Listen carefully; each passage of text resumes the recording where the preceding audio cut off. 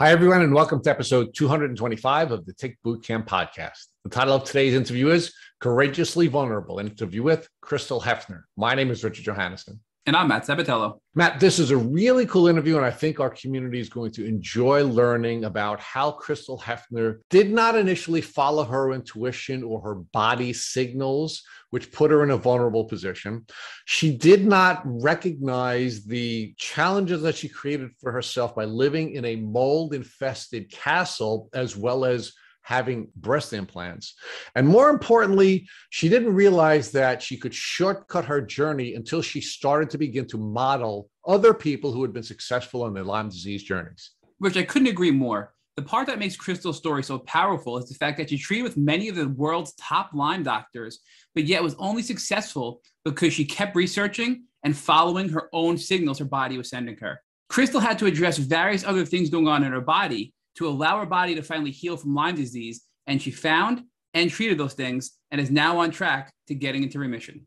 So, Matt, we've known that antibiotics are a really important tool in a Lyme disease journey, but we've also recognized that if your body isn't prepared to begin the Lyme disease battle itself, meaning if your immune system cannot take over the battle, you're not going to heal. And that's one of the really important lessons that we've learned here from Crystal Hefner. So, Matt, without further ado, I'm really excited to introduce to our community Crystal Hefner.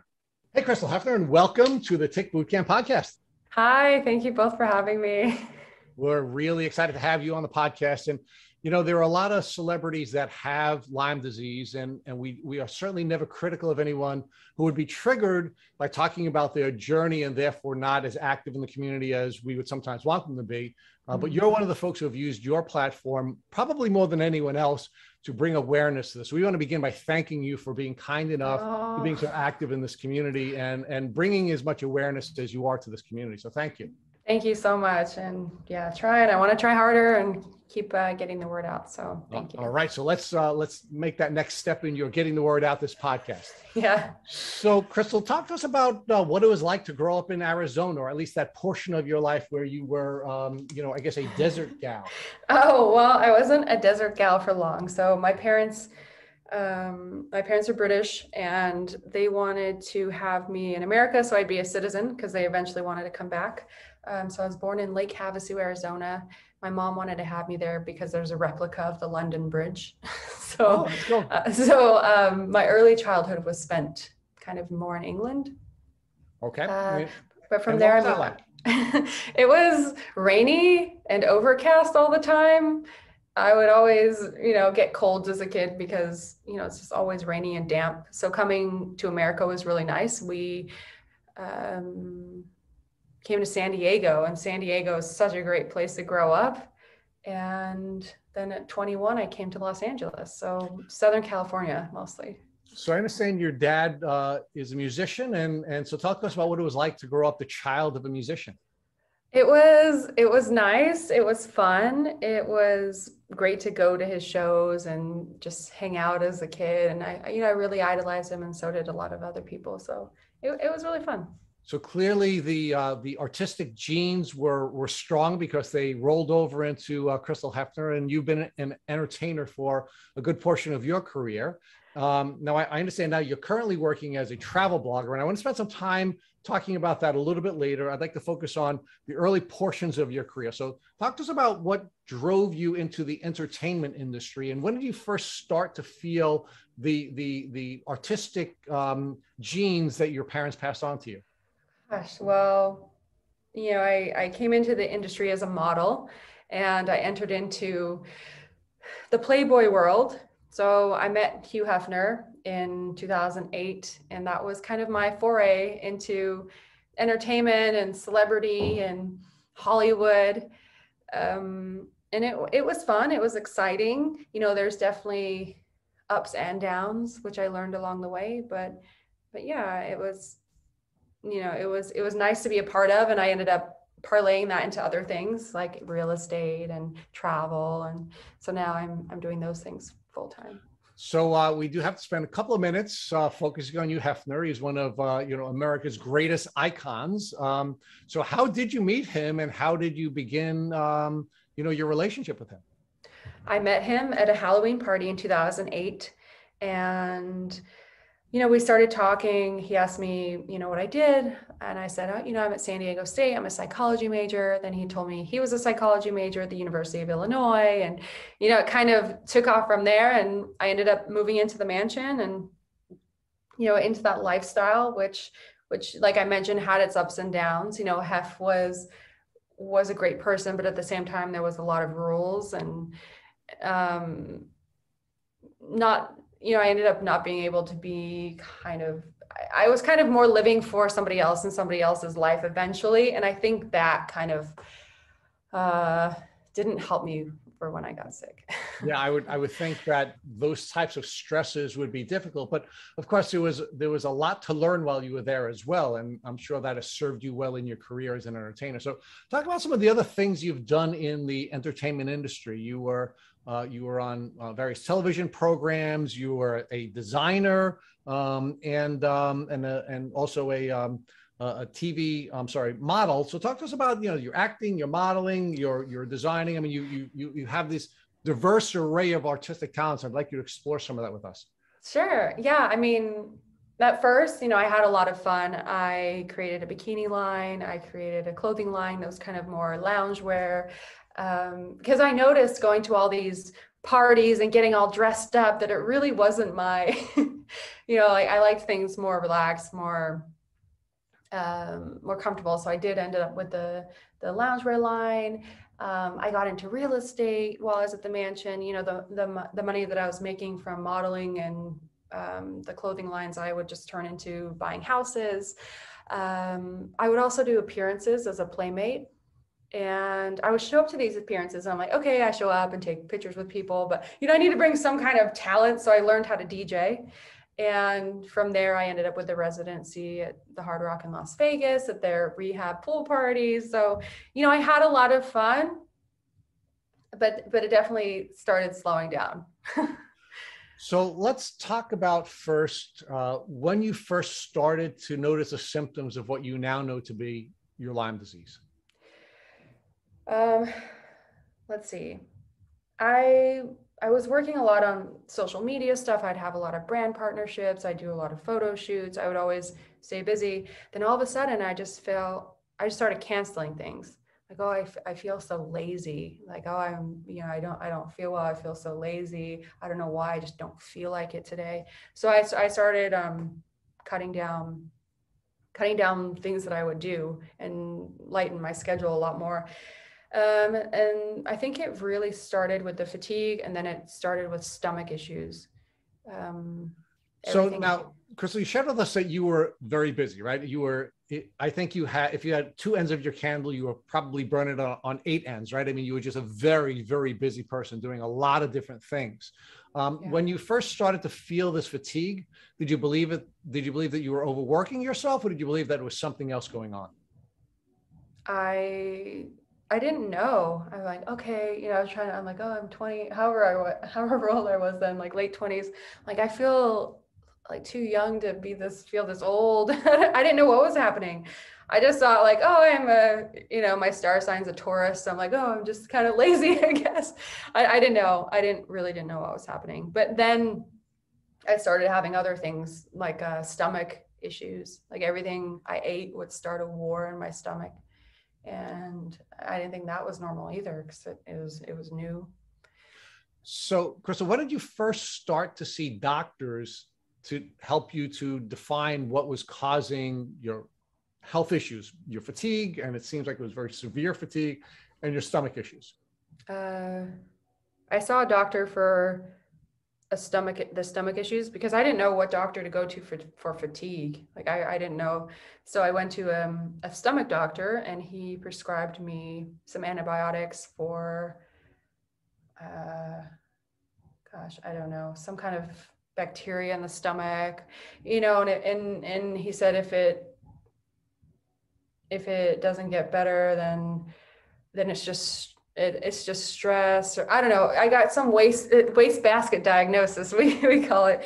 Uh, so then I so then I was sent to a more holistic doctor, a holistic gastrointestinologist, like named uh, Dr. Rabar, and that was in Los Angeles, and he started me on all the tests.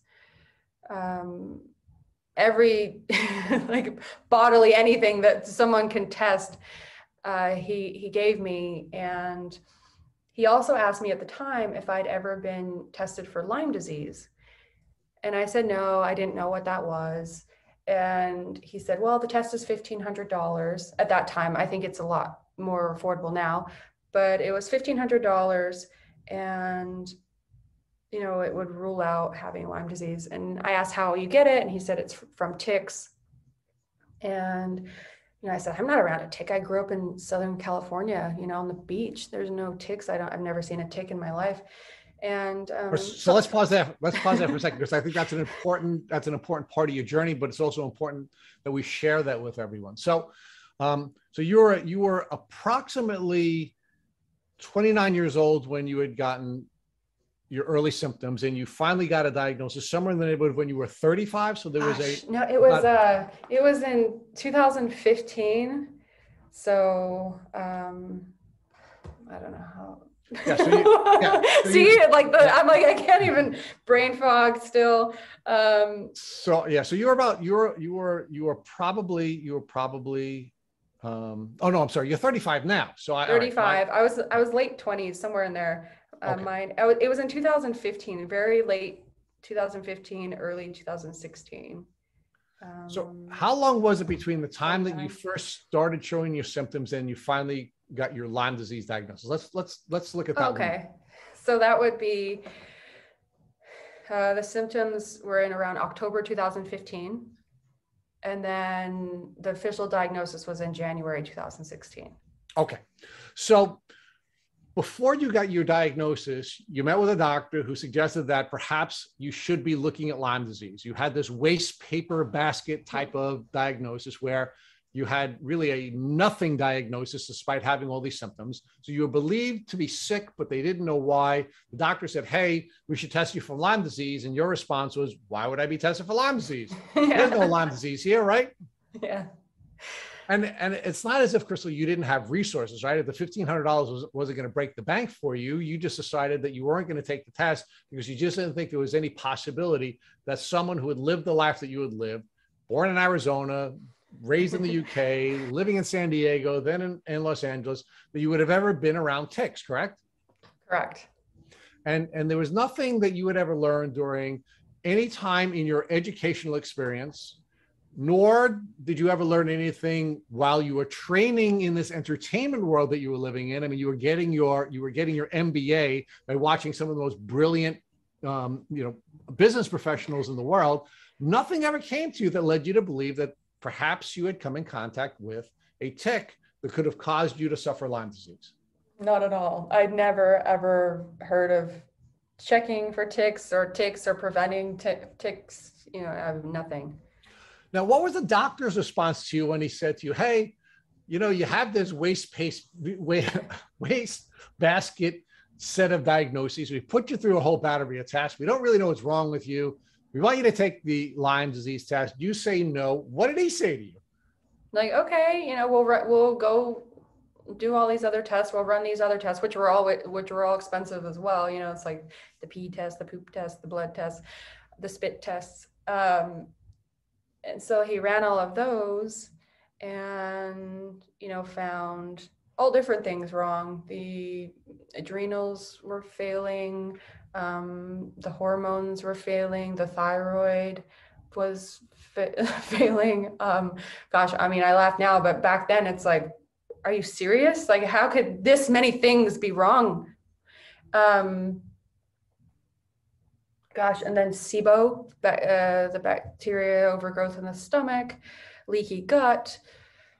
It all came back. And then he said, you know, all of these are pretty much Lyme disease symptoms. Can we test you for it? You know, now will you do it? Like, yeah, sure. So I tested for Lyme disease and, you know, started on all the supplements that they gave me.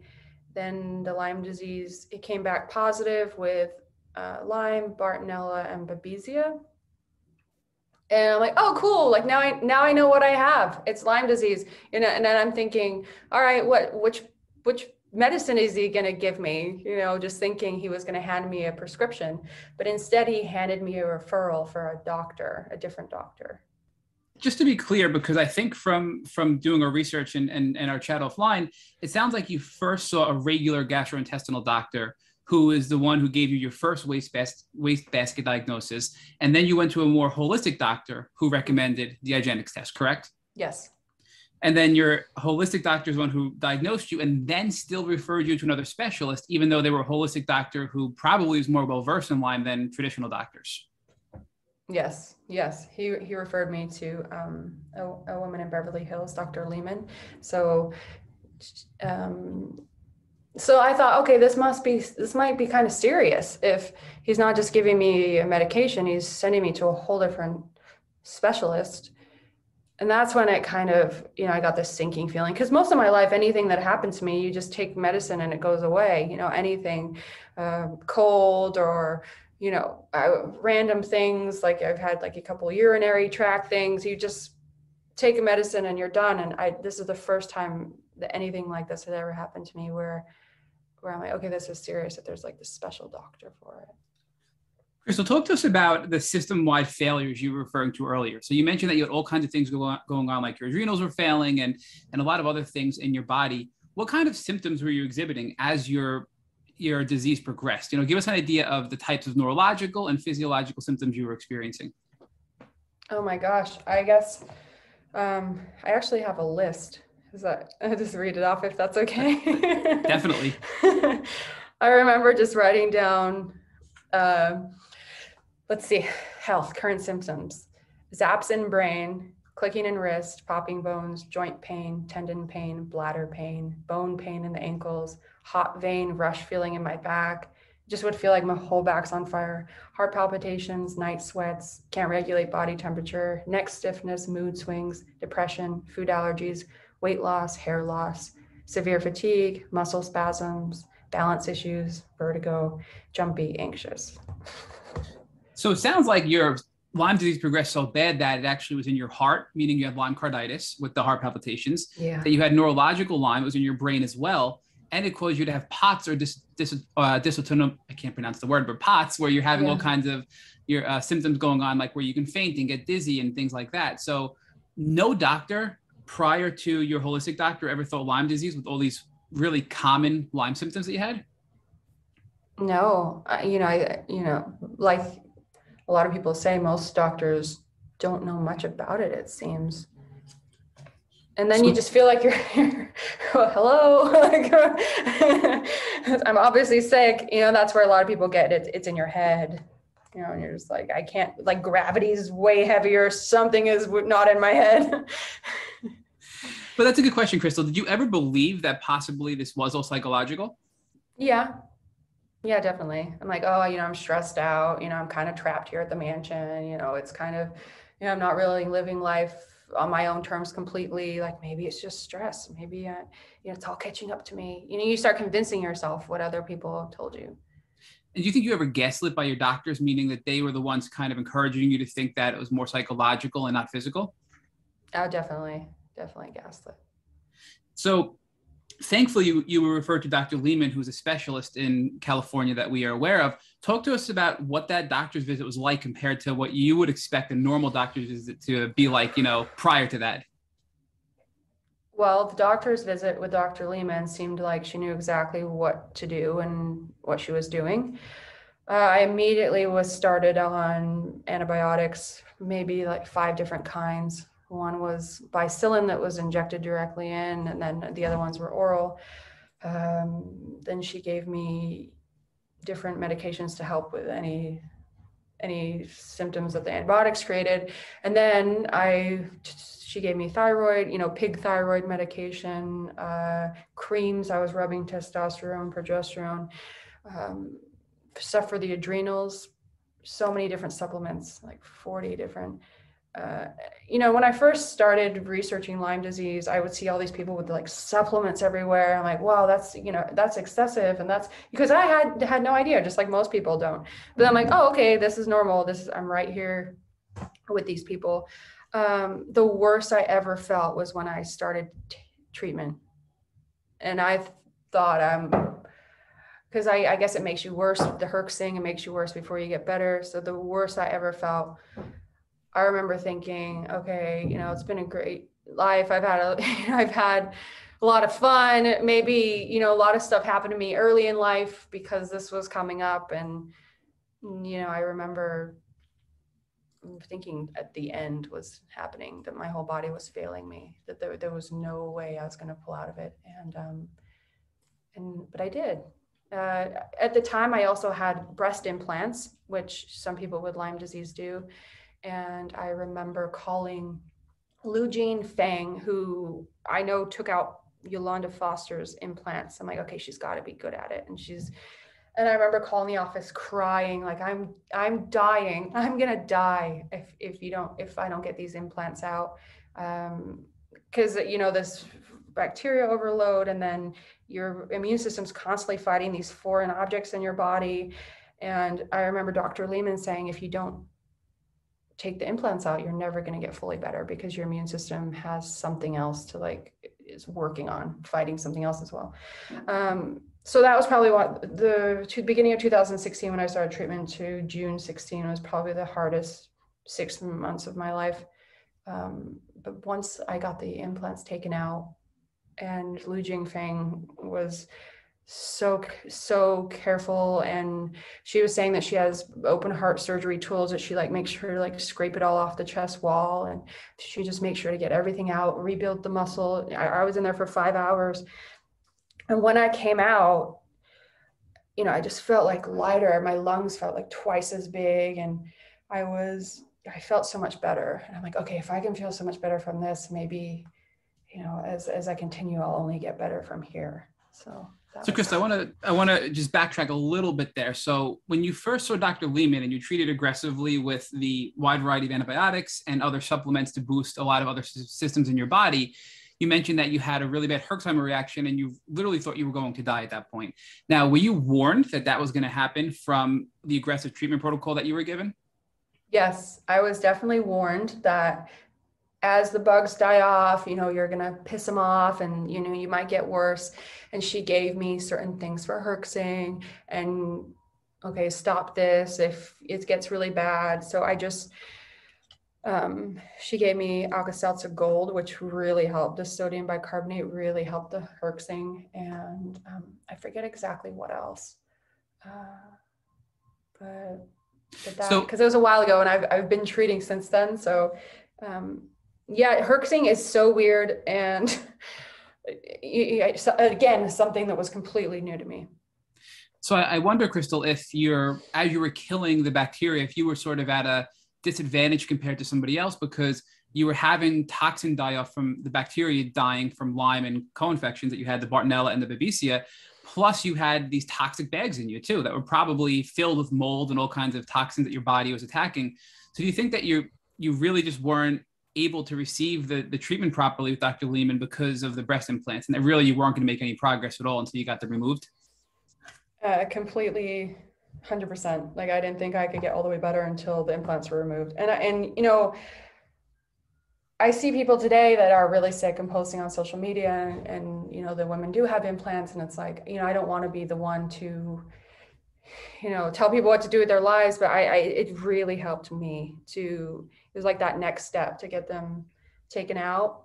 But also where I was living inside the Playboy Mansion, I found lots of mold there because Dr. Lehman said I should test where I live. And, you know, it was owned by the company at that point. And I just thought, okay, if I ask the company to do it, maybe it'll be like hidden from me. So I hired somebody Dr. Lehman recommended, and he came over and he like went in all the vents and everywhere. He was amazing and he found fungus, mold. Uh, the mantua was mostly built out of concrete, which is kind of rare. Usually it's wood, but mold all through to the concrete.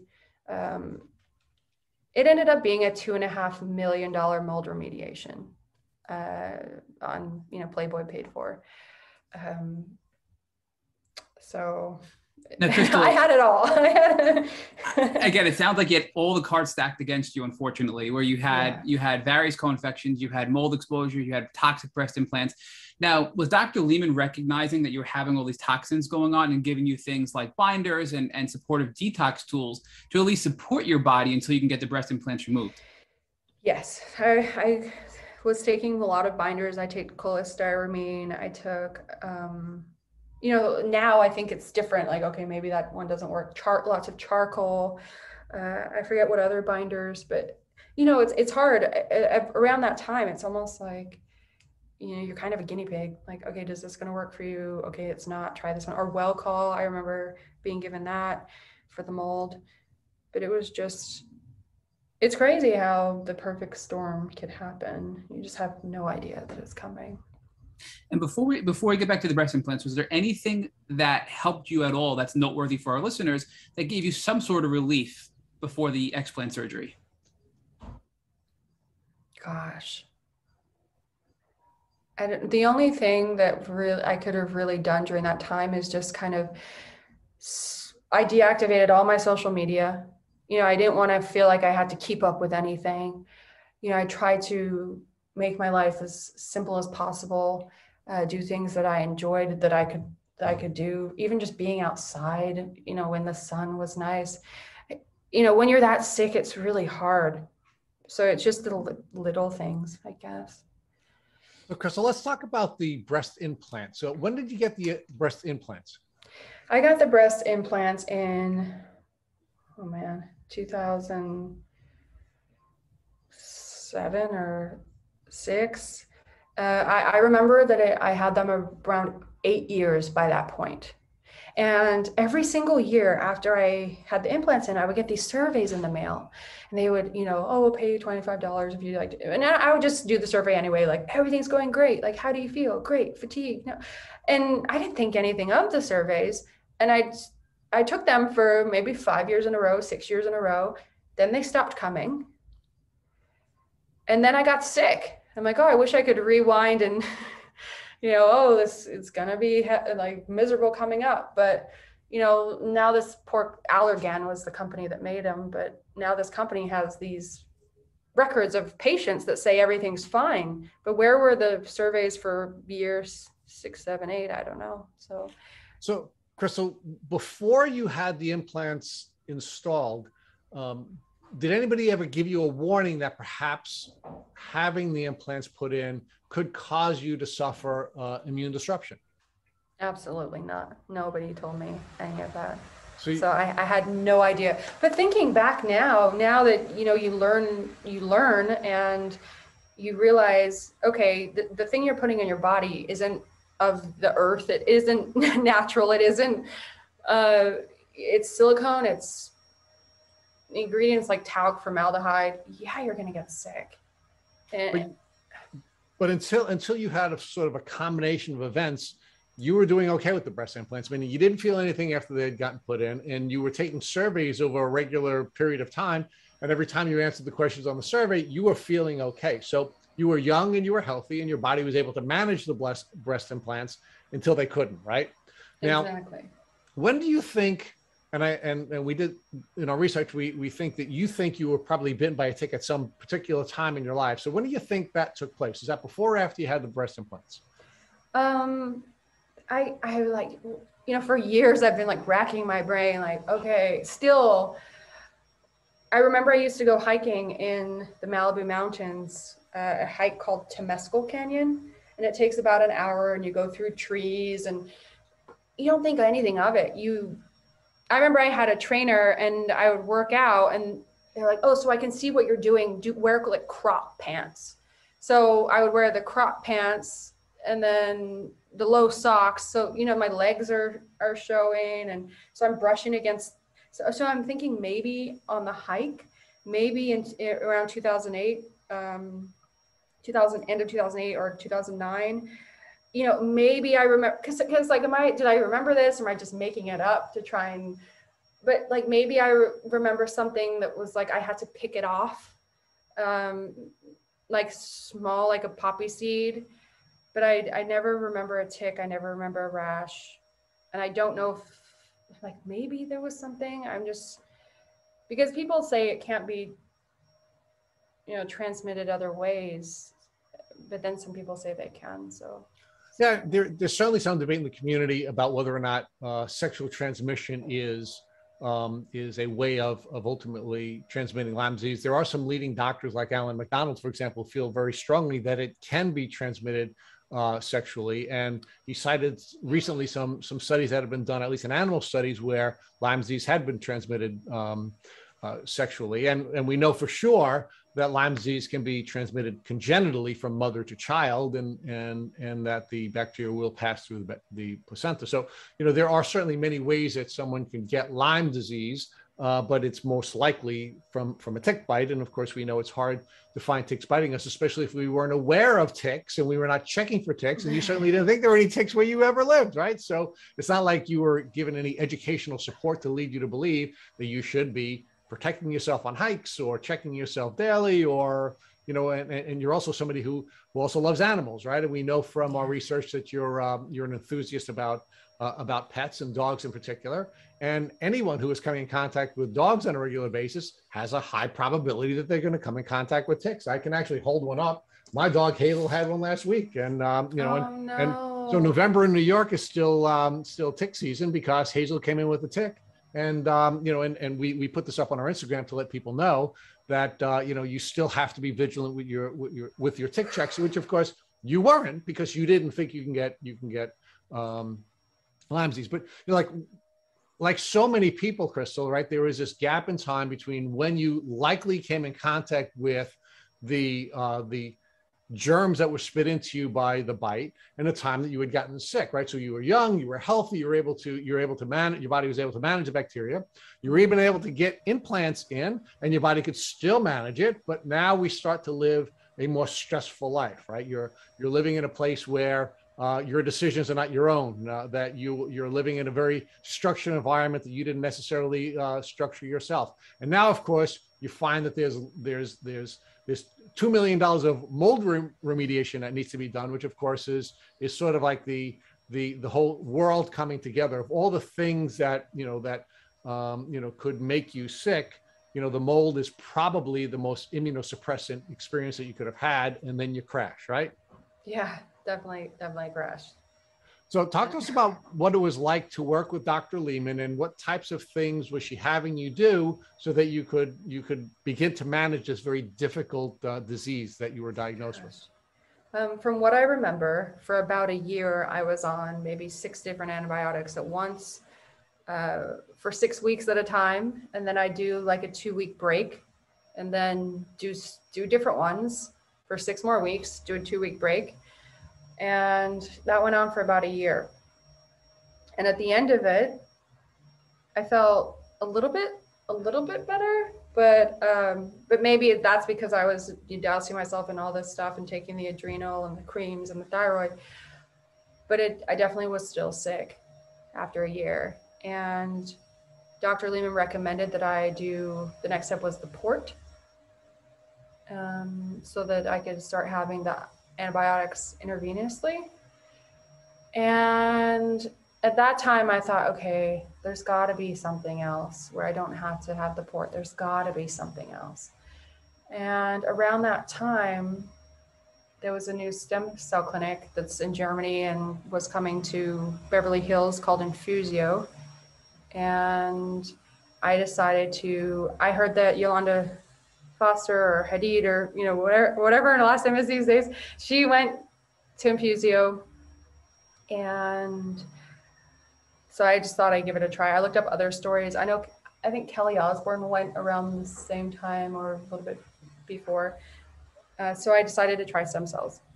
So, Crystal, I'm curious to hear what do you think gave you better symptom relief? Do you think it was the explant surgery? Because you mentioned you had almost an immediate relief of some of your symptoms after that. But then you did a one year treatment with Dr. Lehman again afterwards, and you mentioned you had just some symptom relief there. So, what was better for you, the explant surgery or the one year of aggressive antibiotic treatment with Dr. Lehman?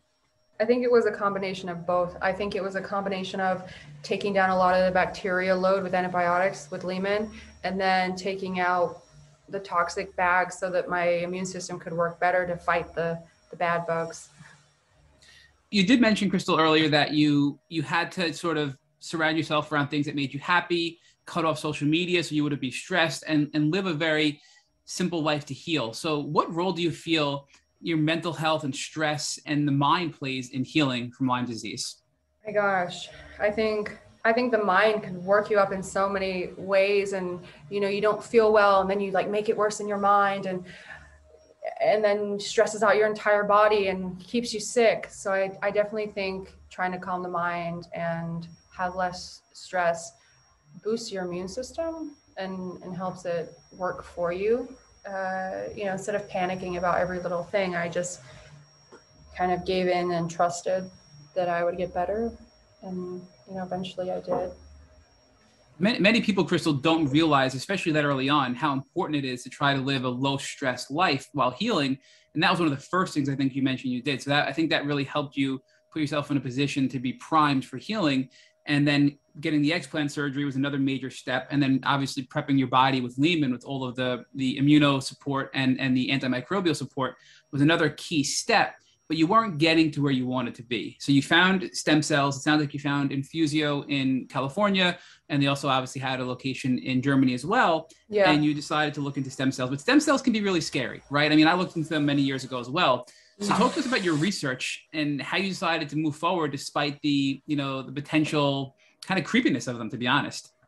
Yeah, I at first I had no idea, but uh, thinking back to what we just talked about about things I did to help so I just wanted to touch on this really quick. I think diet was really important, like changing my diet.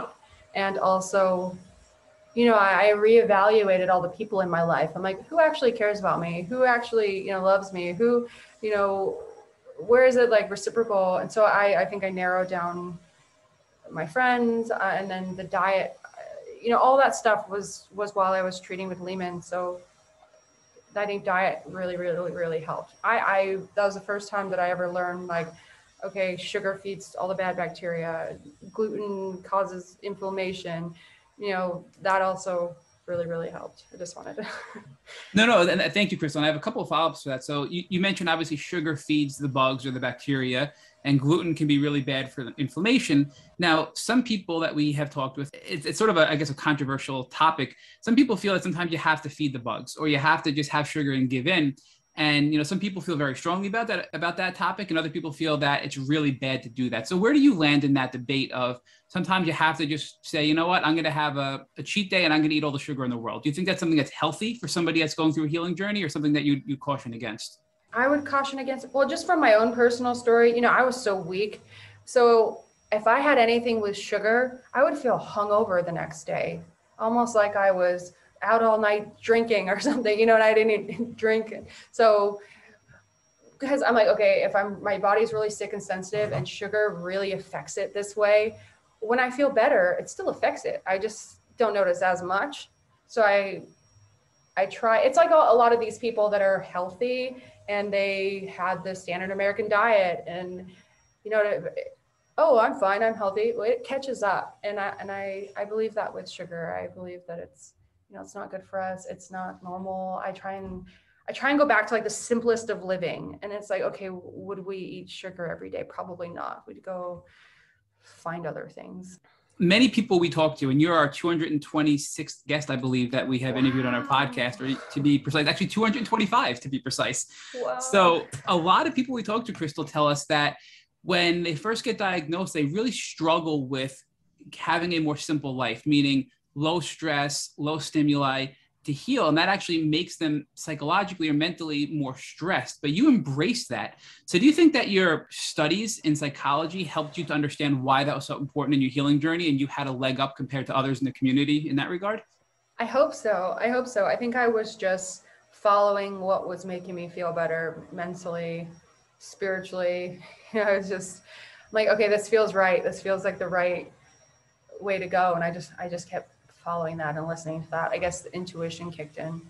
You also mentioned that you you chose to cut out friends from your life that were causing you stress and that weren't really a good fit for you while you were healing. And again, we hear the opposite from a lot of people where they have a hard time letting go of toxic friends and their friends really gaslight them and abuse them and they keep going back and trying to maintain these relationships. But you were the one who said, Nope, I'm not going to have that, which again was a really positive step in your healing journey. What gave you that strength and knowledge to know you had to do that? And really cut out those toxic relationships in order to heal? Well, I think it's really hard to keep them because not only are you like having to convince and tell yourself all these things that you're having to convince and tell everybody else you know that you're really sick or you really just need somebody to be there or you really you can tell when you talk to someone and then they don't really believe you like oh okay oh so it's okay those i just need to get these people clear out because this is really happening right now and you know it's all for the better and i hope people can get rid of toxic people it it makes you lighter and uh, definitely definitely helps you heal and Crystal, I think that's really important advice. And many people in the Lyme community are people pleasers and they feel like they're failing their friends and they keep trying to latch on. So I think that this is really good advice you're giving people that are listening to this podcast. But on the other side, how do the people that you cut out of your life react to you saying basically, I'm done? I think I couldn't worry about it. I really couldn't.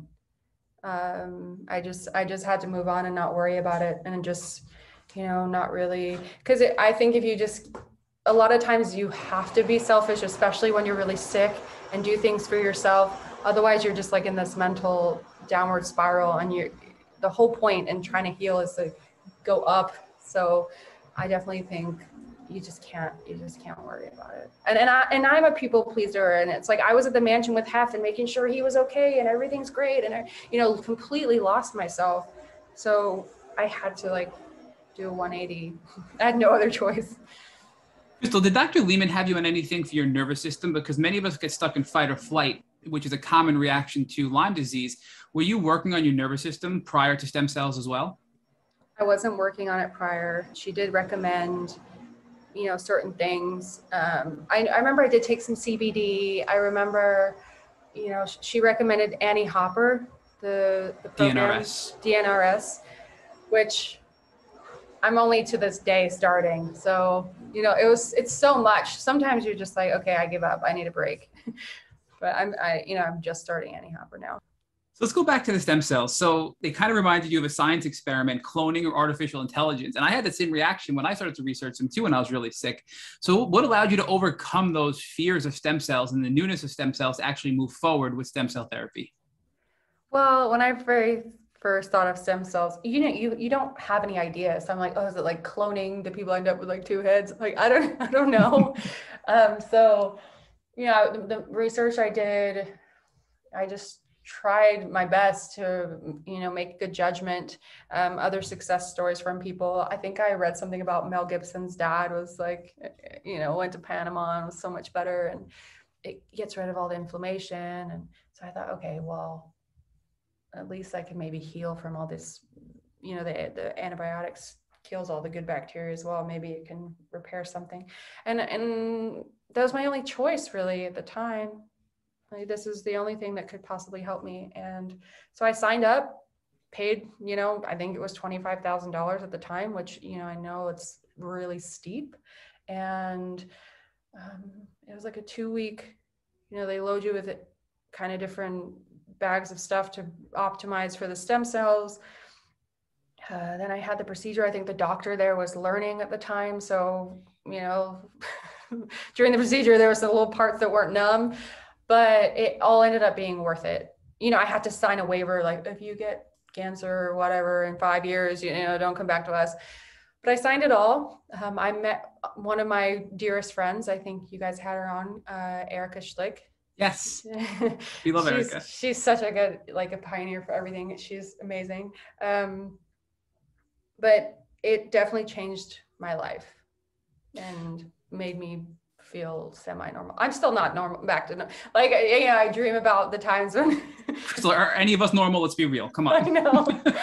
Just trying to get as close as I can, but um yeah, it really, really helped me. They said in a hundred days you'll get better like in three months something like that it was like 90 to 100 days so i got the stem cells i remember the you wait there. They take it out you wait in the waiting room for it takes like an hour and then they bring it in and put it in an iv they're like here's all your stem cells and put it back in. I remember that day feeling like high in my body just so happy and high and like whoa this is cool. Is this what like normal people feel like. It felt like better than normal. Um, but then i kind of went back to the same same kind of thing. And I'm waiting one month, two months, three months, 100 days, still not better. Like, oh man, what a waste. Uh, and it, I just went along just hoping. And then around month nine, the symptoms just started melting away. I just almost like kind of forgot about it. I'm like, oh, I had an ice cream and it did nothing. And like, whoa, it was, uh, it was amazing. It was, it definitely helped me more than anything else. So I think the, the lesson here is patience. And it sounds like it, at first you were getting anxious that you weren't going to get better, but at, at, about the nine month mark, you were like, wow, this is really becoming a, a game changer. Yeah, definitely. Definitely. Yeah. And then around a little while after that, Hef, you know, Hef passed away. And um, that was hard because I was sick and, and then he got unexpectedly sick. And that was really hard. And, you know, he passed away. I couldn't leave the house for so long. And my friend was like, let's, you know, let's go to, let's go travel somewhere. Just let's go to Africa. So, so I'm like, while I'm feeling okay, I'm going to do as much as I can. So I started traveling and I haven't really stopped. So, Crystal, I love the fact that you're a travel blogger, and Rich is going to talk to you about that in a second. But you just made a comment that you said, while I'm feeling better, I want to do what I can. Did you have beliefs then that you were going to get really sick again? Absolutely. I thought it was temporary, definitely temporary. My, okay, this is while I'm as good as it's going to get, you know, I wasn't 100%, but while it's as good as it's going to get, I'm going to do as much as I can. Because while I was sick, I couldn't do anything. I could barely even lift my arms. I could barely walk. It's like fire down my back. And barely, I remember I loved Disneyland. And one day I had to be in a wheelchair in Disneyland because I just couldn't walk. Like it just, everything would tweak out of place and, you know, be so exhausting. But luckily, things would tweak and I'd sleep and wake back up and it would kind of repair itself overnight, but it's, it's just so weird. Like Lyme is so, oh my gosh. Um, but yeah, yeah, I, I definitely thought it was temporary. Okay, so it sounds like you got back to maybe 80, 90% of your pre-illness health from the stem cells. Is that, is that an accurate assessment? Yes. And has that maintained itself since you've gotten the stem cells? Has that been a pretty, a pretty level set or have you had any sort of setbacks since then? Mm, setbacks, but not as, not as bad as, you know, I'm thinking about doing maybe doing it again. It's no it's nowhere near as as um bad as it was. Like I know what it is to you know what it's like to you know be a person with Lyme disease at the very worst and I know what it is like now having it and you know being able to still do things but you know I post all these travels and all these Instagram things but that's only a small percentage of the time. Most of the time I haven't left my house in 5 days so it's um definitely not. Uh, you know a lot now i think is in my mind it's like i think a lot of the neurological lyme you know i still have weird symptoms like whooshing or like zaps or waking up in the middle of the night like in a panic not knowing where i am. And you know that's when I, i'm starting the annie hopper and maybe that will help a little bit. So crystal when you have these setbacks it sounds like you're and obviously they're not nearly as bad as it was when you were pretty much at your worst when you could couldn't even lift your arms as you described it are you doing anything or treating with anybody to help address these setbacks or are you just sort of doing natural stuff to kind of bounce back? Well the doctor i'm with now is dr horowitz in new york and you know i'm in la so he just kind of helps me by phone and sometimes if i'm there i see him. But we we did another treatment and i told him like i really don't want to take antibiotics. So i tried the the dapsone or what is it? No dapsone. Oh disulfiram yes. Yeah the disulfiram and um and that the herxing there was probably one of the worst I've ever had. But um how long were you on that for, Crystal? Um a few weeks, but he said, you know, it's it's strong, just start small or start, you know, really tiny little dose once a week and then kind of move it up. But I'm like, I'm gonna kick its ass. And I, you know, I, I did, you know, and day five, I'm like, oh, I got hit by a truck. And then after that, I started having like almost like psychosis. So I had to stop. But um but the day I stopped, I felt great. Uh, you know, if I do it again, I think I'll just do a smaller doses. Um, but you know, I'm so I'm so I'm much better. But I think it take took a whole life change. So, so disulfiram is it something looking back that you would still do, knowing knowing what you went through? Is something you'd recommend? It's something I definitely recommend. I think it works uh, well. I would recommend it, but I would recommend very, very tiny, tiny dose. Like work yourself up very slowly, like even slower than the doctor told me. you mentioned psychosis, Crystal, and that is a that is a side effect or a known symptom of taking disulfiram too aggressively. So it sounds like you may have taken it too hard, too fast, right? And then gotten the, the psychosis, but it was effective in treating your, your symptoms. So I think that's a good a good warning that you're you're giving to our listeners here. Yeah. Now, I do want to follow up because I do know that you you recently, just this year, probably a couple of months ago, got diagnosed with this long QT syndrome, which is a heart condition. Is that correct? Yes. Now, we actually interviewed Colonel Nicole Malachowski about two months ago, who is a brilliant, brilliant advocate in the community. And she told us that she was diagnosed with long QT syndrome as well. And it's actually caused from Lyme disease. So, have, have you discussed wow. that with your doctors that long QT is actually a consequence or, or a result of having severe Lyme disease? Wow, that, that's really interesting. Um, you know, when I would on different um i don't know what the what's it called when they like scan your heart oh, the, oh, uh, the EKG? ekg or yeah sometimes they call it ekc i don't know but um yeah they would say oh you have long qt you have long qt before i was with dr horowitz he um he, you know gave me gave me that and said oh you have long qt there's certain medications we can't give you um, and then I had, I went to Florida and I was going to get this EBO2 procedure where it's like the the plate, yes. I what it's called, regenerative something in Florida. Well, when they pulled the blood out, when it was getting cleaned, I fainted. I ended up going to the ER. I didn't end up having the treatment, but in the ER, they're like, oh, you have this long QT, you better check it out. So I went to, I went back to LA, saw a professional here for long QT, like, oh, you have this long QT. It, it was really scary. And when I researched it, it said that you you only live 10 years if you have it. And it was like, oh my gosh, now this, like what?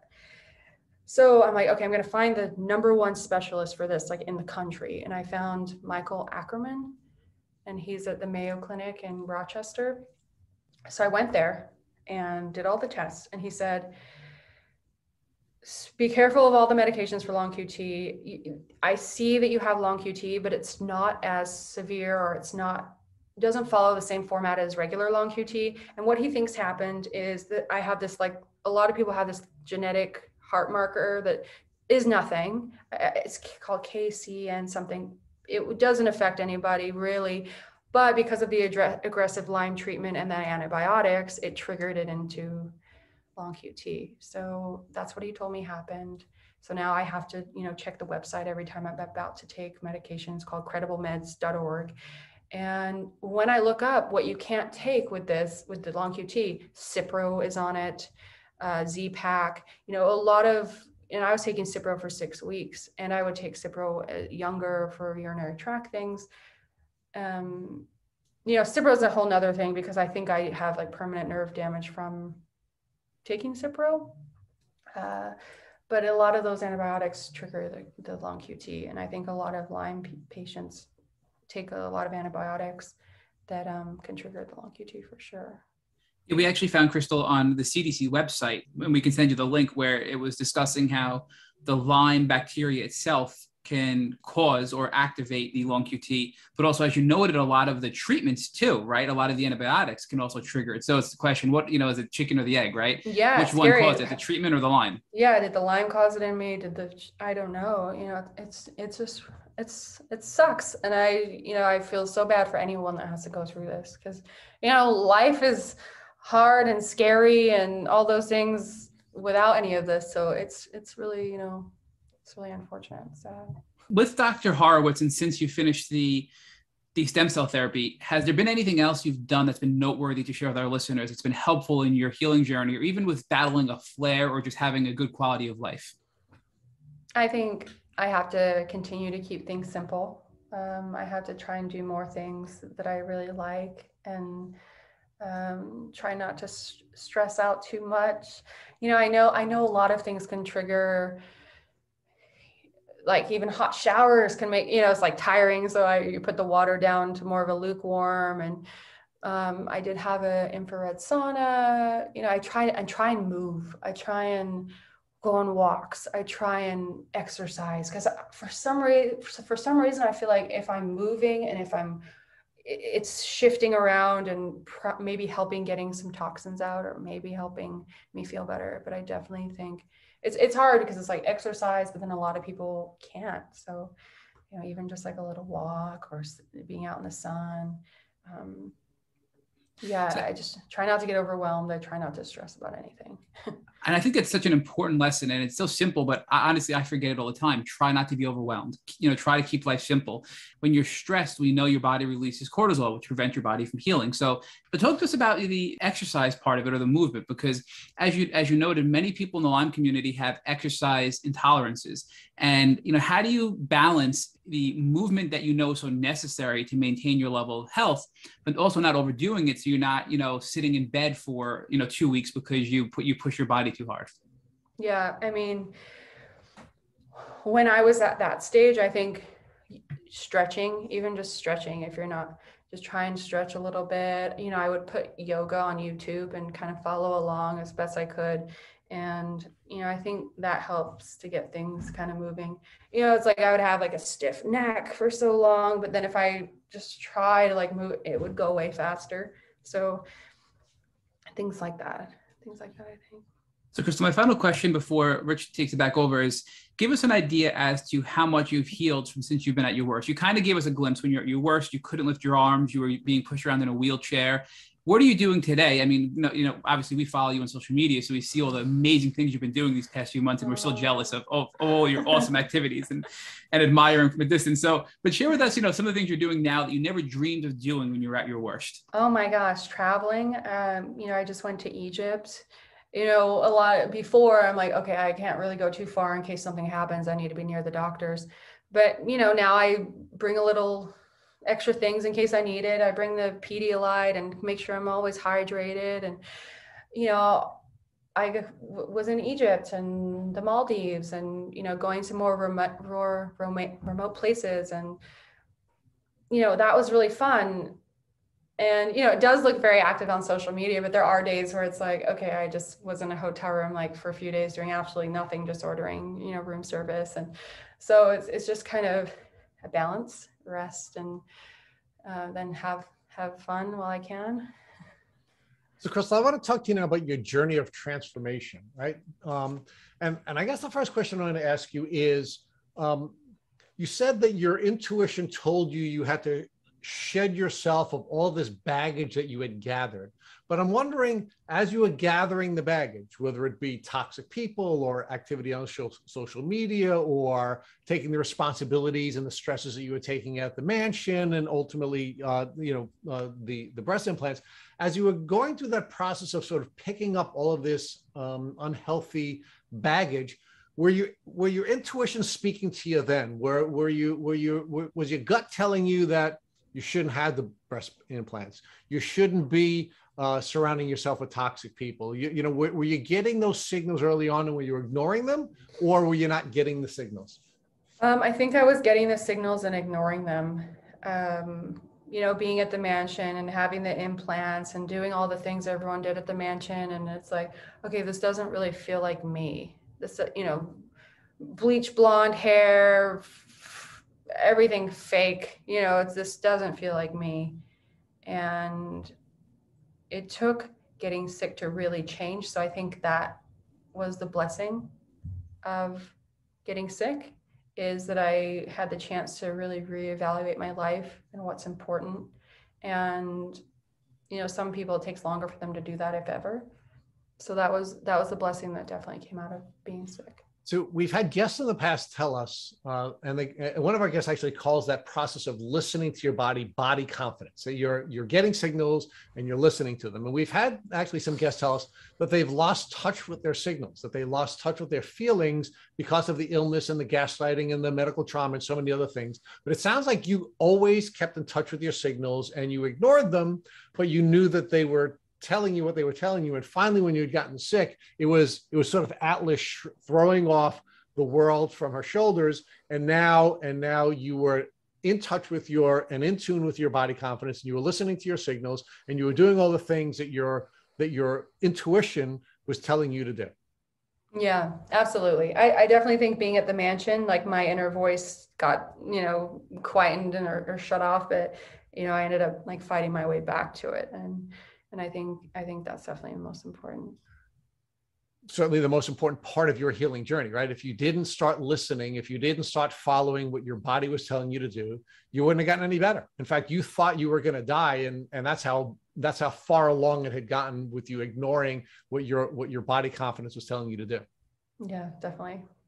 So let's talk about modeling because that's another really important part of a journey, right? And it looks like you were modeling some of the people who were being vulnerable and open about their experience, specifically Yolanda Hadid or Yolanda Foster, whatever her name is that you had said before at this point, right?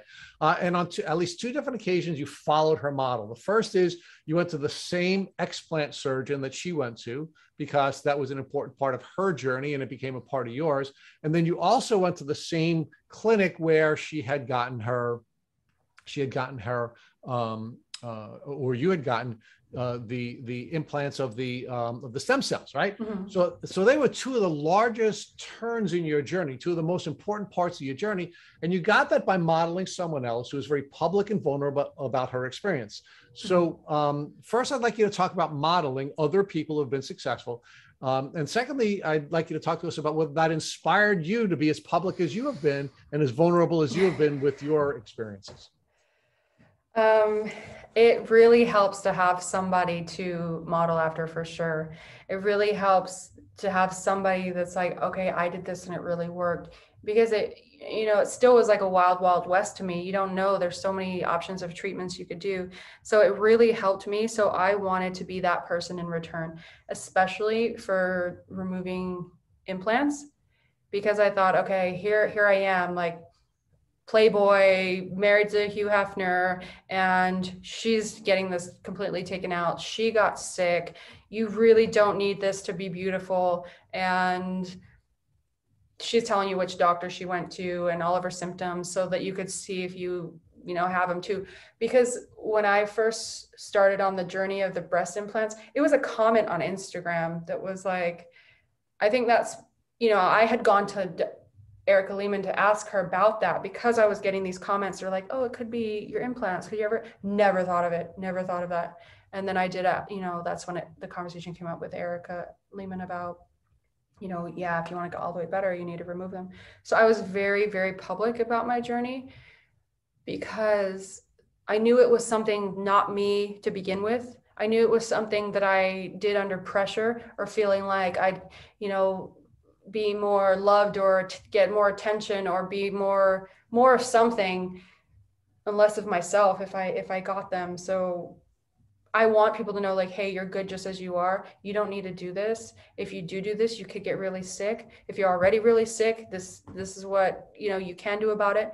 And ever since then i get so many women every day writing me thank you. Thank you so much. You know i went to dr Feng. I went to this other doctor you know oh, i'm so much better thank you. And for me that feels like purpose more than anything in my life before that mean more than anything at the mansion. So chris i'd like to end this podcast in the same way we began it by thanking you for being so public and being so vulnerable. Because you you benefited from another person or some other people who were vulnerable and public about their experience. And because of that your treatment journey and your healing journey was shortened. And now you're doing exactly the same thing by being public and vulnerable. So I, I can't thank you enough for being open and public and sharing so much with the community because you are shortening other people's journeys and you're making them have a much better life. So thank you. Oh my gosh. Thank, and thank you as well. You know, it's because, because of people like you that everyone, you know, it's, it's like everyone's getting on that train. And I've been hearing things of, you know, new treatments or new options that are coming down the line. And you know it's it's it's because of you and everyone's voices. It's it's getting louder and it's it's awesome. Thank you for listening to the tick boot camp interview with our guest crystal hefner. To our listeners we have a call to action. First if you'd like to learn more about crystal hefner please visit our instagram page at crystal hefner. Second, if you enjoyed this episode of the Tick Boot Camp podcast, please share with your friends by using the social media buttons you see at the bottom of our post. Third, Tick Bootcamp has created a Tick Bite blueprint that has been inspired by the information that has been shared with us by past podcast guests. We urge you to visit our website at tickbootcamp.com to view the blueprint. Please note we would appreciate any input or any improvements you would like to offer to us.